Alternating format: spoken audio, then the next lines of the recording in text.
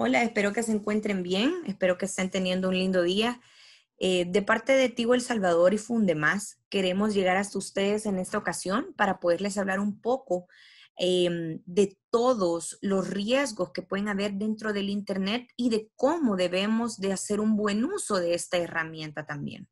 A continuación, en los próximos minutos, quiero invitarlos a compartir esta información tan valiosa que aunque todos tenemos conocimiento, porque todos lo conocemos, no todos tenemos la conciencia real de cuáles son los riesgos psicológicos o legales que estas situaciones podrían llegar a traer a nosotros o a nuestras familias.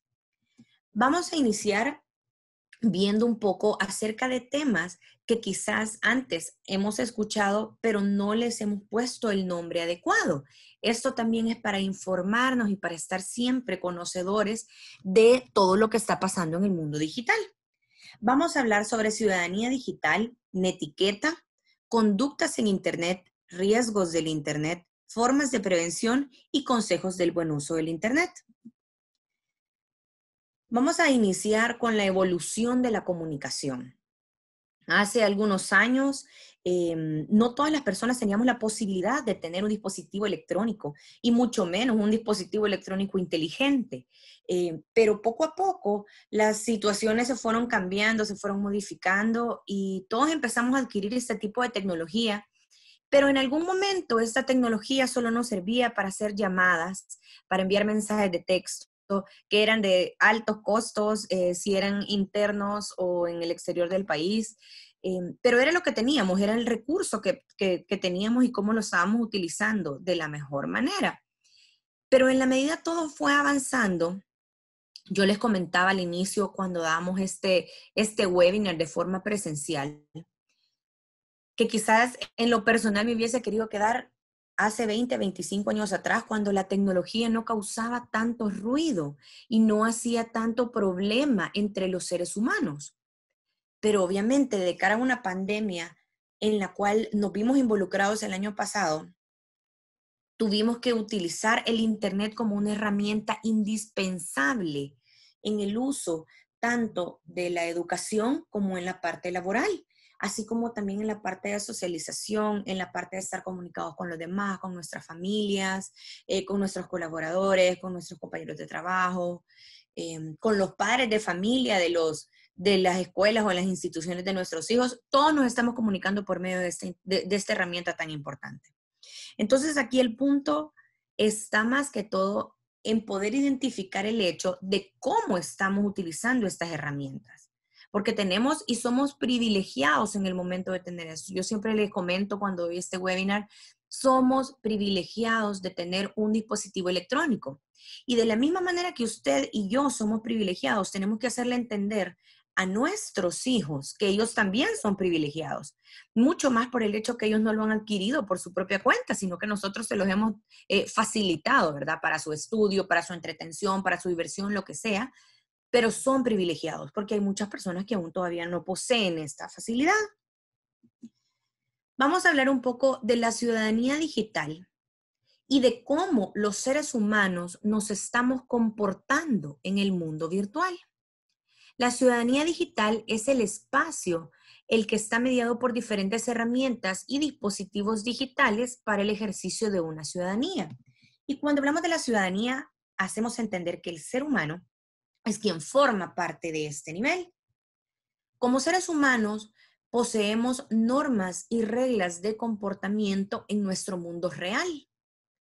Estas mismas normas y reglas de comportamiento debemos de trasladarlas al mundo virtual.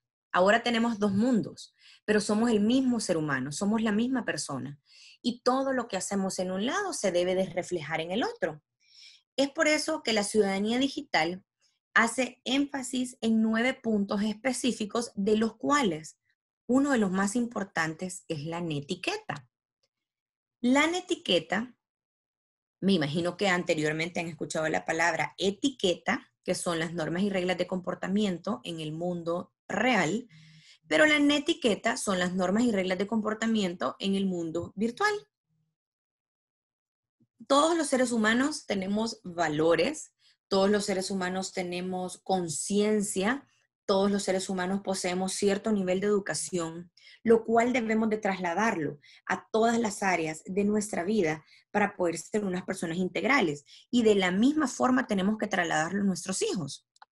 Es importante hacer énfasis de que las conductas en el Internet inadecuadas nos pueden causar riesgos muy grandes.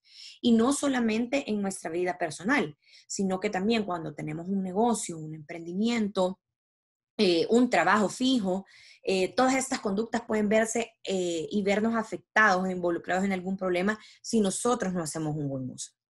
Como por ejemplo, ¿qué información de otras personas estamos exponiendo en nuestras redes sociales? Hoy por hoy, el tema de las etiquetas y el tema de subir fotografías o videos a las redes sociales es algo muy común y muy normal. Pero tenemos que estar alerta y tenemos que estar conscientes de que cuando tenemos niños, niñas o adolescentes que están en esta fotografía o en estos videos, si nosotros no tenemos la aprobación de su tutor o padre responsable, estamos cayendo en una falta legal.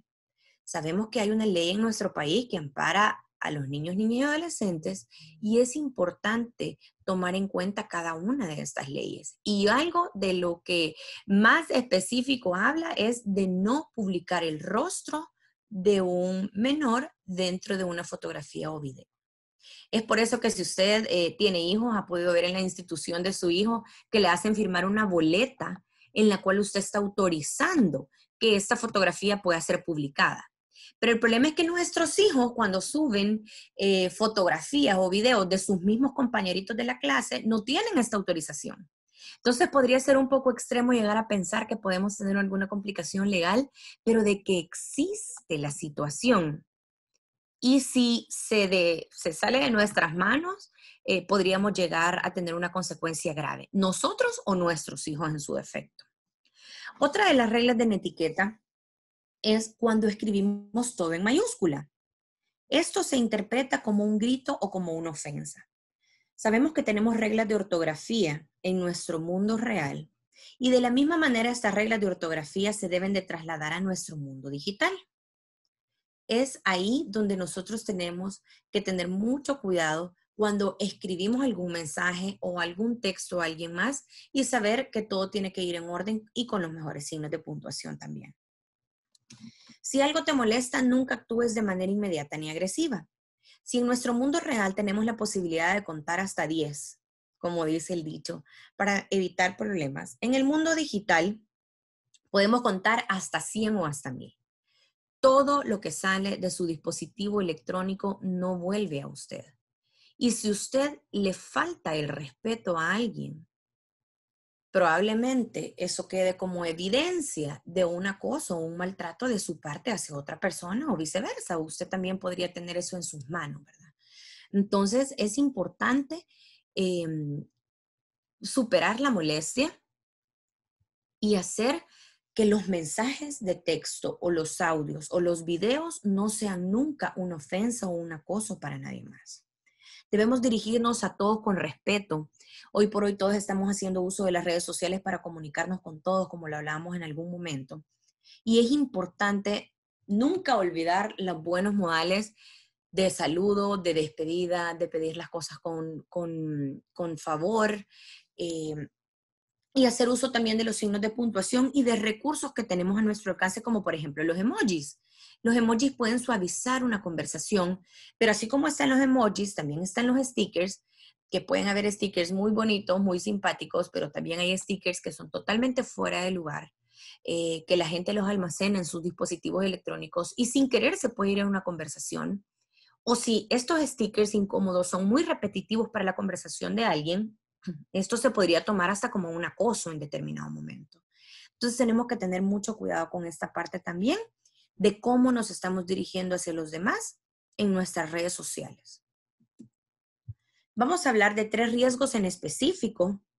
Hay muchos riesgos que hay ahorita en Internet, pero estos tres hemos querido abordarlos porque son de los que más relevancia están teniendo, no solo en niños, niñas y adolescentes, sino que también nosotros como adultos. Como adultos, a veces em, somos muy confiados no solo de personas, sino que también de nuestras acciones y pensamos que no van a tener las consecuencias eh, tan graves sin imaginarnos qué puede llegar a pasar más adelante, ¿verdad? ¿A quiénes afectan los riesgos del Internet? Pues sabemos que todos los que usamos Internet nos podemos ver afectados en algún momento, pero son los niños, niñas adolescentes y las mujeres las que aún se ven más afectadas en nuestro país por este tipo de riesgos.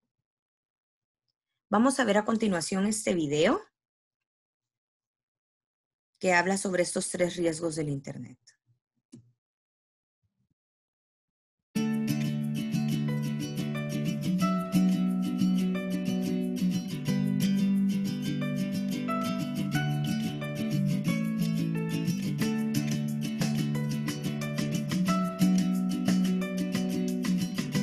Internet es muy bueno para vos pero solo si tomas en cuenta algunas recomendaciones. Son varias, así que para no aburrirte, ahora te diré la más importante. No creas todo lo que se dice, muchas cosas son falsas o erróneas. Por ejemplo, Sara en realidad no va a la universidad porque solo tiene 12 años. Quiere conseguir amigos mayores, demostrando una identidad irreal sin imaginar las consecuencias. Y en el caso de Carlos, no tiene 18 años, sino 44, y busca relacionarse con menores de edad para cometer actos de acoso a menores. Sara se pondrá en contacto con Carlos porque no sabe la verdad y para que vos conozcas en qué consisten cada uno de los peligros a los que ella se enfrenta, te los voy a explicar.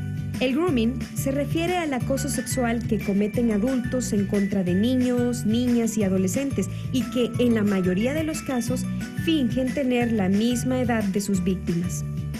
Para evitarlo, debes entender muy bien la diferencia entre un amigo y un contacto. Para conseguir un contacto te basta un solo clic, pero una amistad es una relación que se construye, sobre todo con las experiencias que se comparten en el mundo día a día. Por otro lado, el sexting es enviar mensajes o fotografías sexualmente explícitas por medios electrónicos, especialmente entre teléfonos celulares.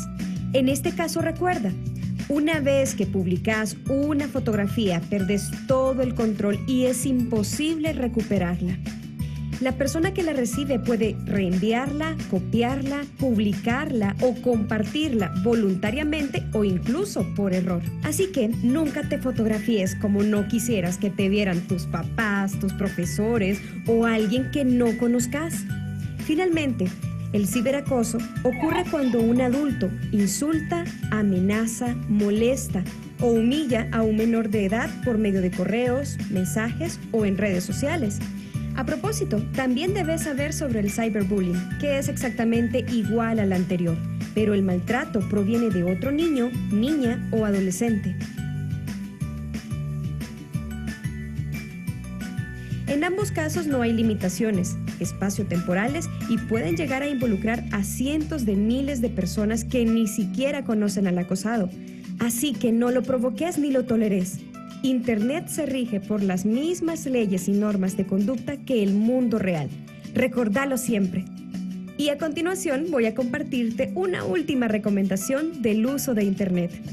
Aunque te cueste creerlo, tus padres, tus maestros o familiares cercanos son los mejores aliados que podés tener para orientarte y protegerte.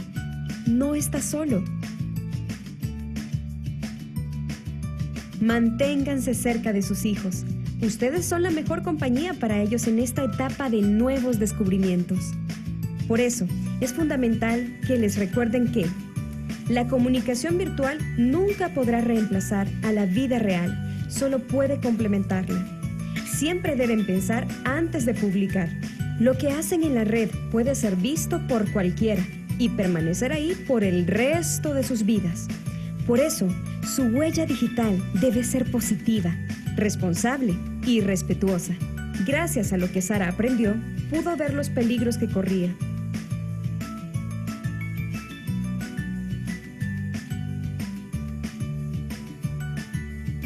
Juntos podemos bloquear lo negativo de la web.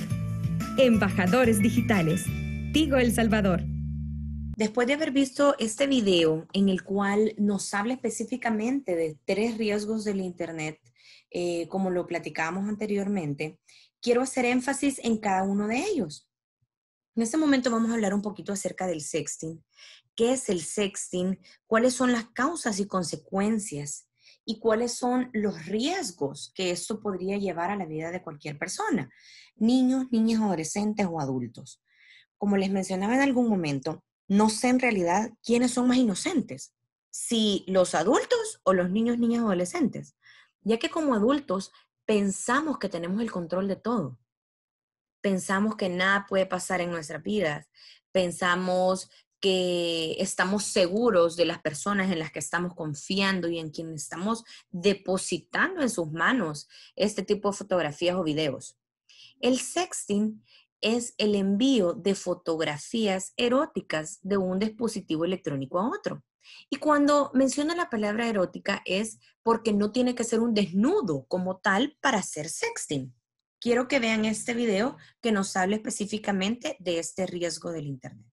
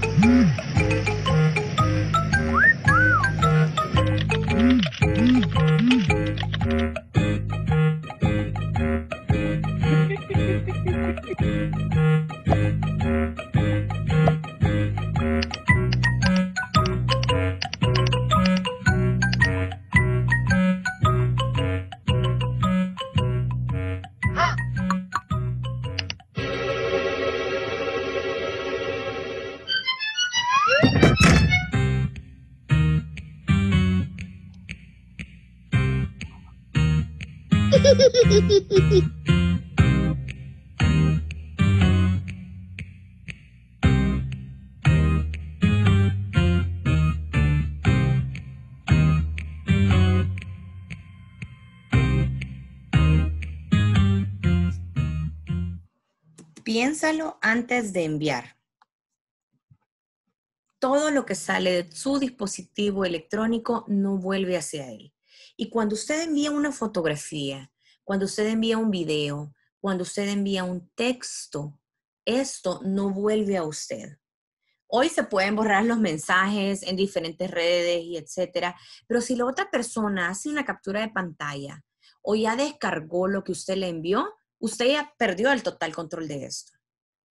Cuando nosotros enviamos una fotografía o un video de nuestros cuerpos, y esto es muy importante que se lo hagamos saber también a nuestros hijos y a nuestras hijas, cuando nosotros enviamos una fotografía o un video, la persona que recibe esta fotografía o este video tiene el total control de nuestra imagen.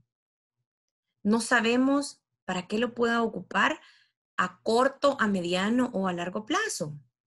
Vivimos en un país tan pequeño que el día de hoy conocemos una persona el día de mañana es nuestro cliente, posteriormente es nuestro jefe, posteriormente es nuestro compañero de trabajo. Pues, eh, es impresionante realmente cómo cada vez nos conocemos más en nuestro país eh, de persona a persona y es importante cuidar nuestra huella digital. Es importante cuidar nuestra imagen digital porque esto es algo que va a perdurar a lo largo del tiempo. Y ya no digamos una fotografía o un video totalmente inadecuado que pueda pasarse de, un dispositivo a otro. Eh, lastimosamente, los jóvenes están compartiendo estos videos que sus novios o sus novias en las instituciones educativas les comparten y entonces ellos lo hacen, lo hacen broma y lo pasan a sus familiares, a sus primos que están en otras instituciones educativas y se empieza a hacer una cadenita y empiezan a, a pasarse estas fotos de dispositivo a dispositivo, de institución a institución, es, eh, es denigrante realmente para la persona que envía esta fotografía, hombre o mujer, niño o niña, no importa. Em, el hecho de, tener la imagen eh, totalmente dañada y su huella digital dañada.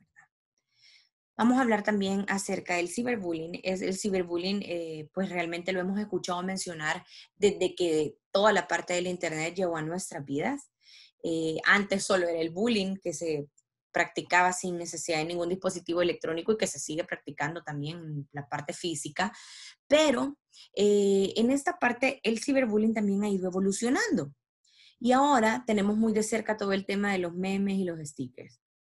Es, es triste realmente ver cómo a veces nosotros como adultos damos ese mal ejemplo para nuestros hijos, para nuestras hijas, para nuestros eh, sobrinos, primos, lo que sea, de cómo nosotros nos burlamos cuando llega un meme o un sticker a nuestras manos y lo empezamos a compartir y a compartir y a compartir. Estamos hablando de que vivimos en un país muy pequeño. Las figuras públicas de nuestro país, las figuras de gobierno de nuestro país, las personas naturales en nuestro país, todos somos totalmente vulnerables y expuestos a este tipo de situaciones para recibir burlas cuando se crean este tipo de cosas acerca de cualquier tipo de cualquier persona. Entonces, sí apelo al respeto por el ser humano, no importando quién sea, no importando de dónde venga, no importando la falta que haya cometido. Pero lo que sí interesa e importa es que usted deje de compartir estas cosas, porque usted en el momento que comparte estos memes o estos stickers, puede mostrar cuál es el grado de educación y cuál es el grado de respeto que usted tiene por las demás personas.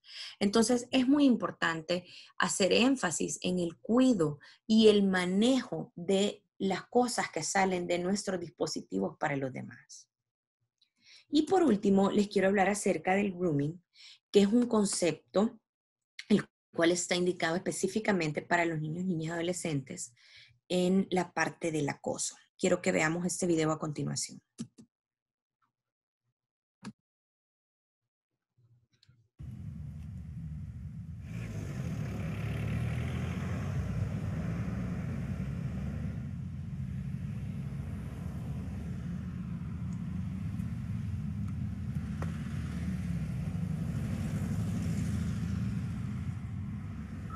¿Cuántos años tienes? 14. Yo tengo 15. ¿Cómo te llamas? Ignacia, ¿y tú? Pablo. Oye, pero qué linda que te ves en la foto. ¿Y tú cómo eres? ¿Tienes foto? Te mando una.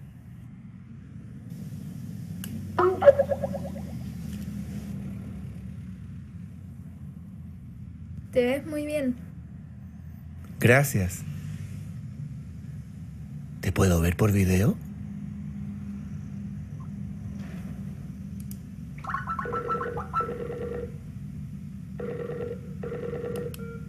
Está lista. ¿Cómo me veo?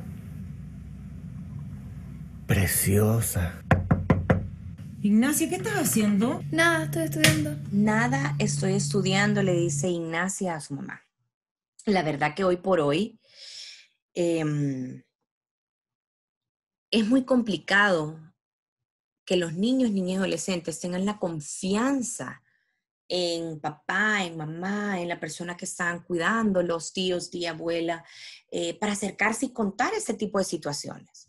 Las cosas han ido cambiando y han ido evolucionando en la medida que pasa el tiempo. Y así como en algún momento nos decían, no te vayas a ir con un desconocido, no te vayas a subir con un desconocido, no vayas a hablar con un desconocido. Ahora la realidad nos ha llevado a tenernos que subir en el vehículo de un desconocido que nos va a llevar de un punto a otro. Entonces, todo lo que algún día nos enseñaron ha tenido que verse modificado también. Y es por eso que hoy tenemos que enseñarles con otras palabras a nuestros eh, hijos, a nuestras hijas, para que ellos tengan que estar alertas y cuidándose siempre y en todo momento. Es difícil que nuestros mismos hijos estén en estos juegos en línea, conociendo nuevas personas, conociendo personas de otros países. Em, es algo casi inevitable de nuestra parte, pero tenemos que tener la suficiente confianza y comunicación con ellos para acercarnos y poderles contar la realidad y la gravedad de las cosas que los podían llevar eh, si ellos continúan hablando con personas desconocidas, incluso que los hacen pensar que son de otros países y probablemente es una persona que está a la vuelta de la esquina eh, queriendo hacerle algún tipo de daño, ¿verdad? Entonces, sí es importante que nosotros como adultos responsables nos acerquemos a ellos, les contemos esta historia y que no la vivan por una mala experiencia o que alguien más se la venga a contar de una manera equivocada. Los 10 consejos para proteger a nuestros niños en el Internet es que tenemos que ubicar la computadora en un lugar público y que esté a la vista. Nunca los dejemos en el cuarto, en un estudio, en una habitación, a veces por cuestión de espacio, eh, totalmente de acuerdo, pero sí es importante que nosotros sepamos qué es lo que ellos están viendo y qué es lo que están escuchando. Siempre tenemos que tener nuestros antivirus actualizados, tenemos que controlar lo que nuestros hijos ven en Internet mantenernos a la raya con contenidos nocivos, sabiendo y entendiendo qué es lo bueno para ellos y qué no es lo bueno para ellos, porque aunque ellos también tienen una conciencia de qué se hace y qué no se debe hacer, es importante que nosotros se los estemos reforzando. Eh, debemos de hablarles sobre estos temas tan importantes de la cultura del Internet, tenemos que evitar llenar formularios en el Internet porque esto puede causar algo contraproducente para nuestras contraseñas o para nuestras cuentas. Em, ahora se está dando muchísimo el tema del fraude, tanto bancario como de las cuentas de correos electrónicos. Eh, tenemos que estar muy alertas con eso. Bancos que están pidiendo información, pero bancos que en realidad no son bancos, sino que son hackers que se encuentran dentro de la red, em, pidiendo y actualizando contraseñas solo para ingresar a sus cuentas, ¿verdad? Y esto le puede llegar a sus hijos también, porque sus hijos deben de crear cuentas para ciertos juegos que están en el Internet. Entonces tenemos que estar muy pendientes de todo eso si ellos también están ocupando nuestros correos electrónicos y no tienen sus propios correos. Em, debemos de tener límites de tiempo en el uso de los dispositivos electrónicos. Todo debe de tener un límite y es importante que nosotros lo establezcamos desde el momento que le estamos otorgando un dispositivo, como se los dije al inicio, que les estamos dando este privilegio. Crear acuerdos para el uso de la red dentro del hogar es muy importante, no dejar que sea de libre uso. Sé que como adultos pasamos muy saturados en nuestro negocio, en nuestros estudios, en nuestra vida familiar, pero no podemos descuidarnos de esta parte tan esencial e importante en la vida de nuestros hijos y de nuestras hijas, ya que es una responsabilidad que a nosotros como adultos nos compete. Tenemos que supervisar las actividades de nuestros hijos en la red y navegar con ellos para saber qué es lo que están buscando, para saber qué es lo que están eh, eh, ellos encontrando dentro de toda la navegación que hacen. Espero que haya sido de mucha utilidad esta información para ustedes para sus familias, para su vida personal y también para su negocio. Gracias.